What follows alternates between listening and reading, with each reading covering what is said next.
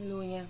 Hôm nay thì mình sẽ chia sẻ với anh em cái chuỗi win của Liên quân mobile của mình. Ừ. Anh em cùng xem vào màn hình nhé Nói chung là chúng ta muốn à, thắng thì chúng ta phải, phải cần đi team. Ít ra phải chơi team 3 Còn đi đơn thì chắc chắn là không được cái chuỗi này rồi. Một mình không thể gánh team được. Ba người gánh thì may ra được.